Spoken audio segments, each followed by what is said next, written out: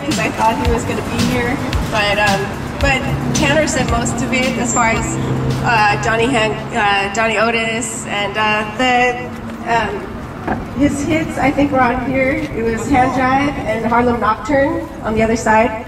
So those were Johnny Otis' uh, two major hits. And um, I always assumed that they put it here because there's the, the musical, the store right there. So, but hey, you never know. So they were big R&B artists, and um, Hunter Hancock, the DJ, brought R&B to the West Coast, and uh, Johnny Otis was one of the main R&B artists from I think the 40s.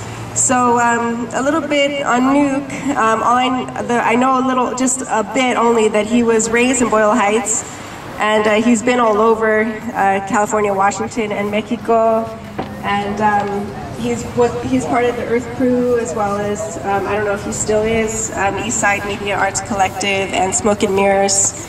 And um, he did, I wish I could have seen this. I live in El Sereno, but there is a theater there, the Mazatlan Theater, and there used to be a mural of, um, yeah, Cantinflas and Chaplin together. So I always, I look for it online, images, I can never find it.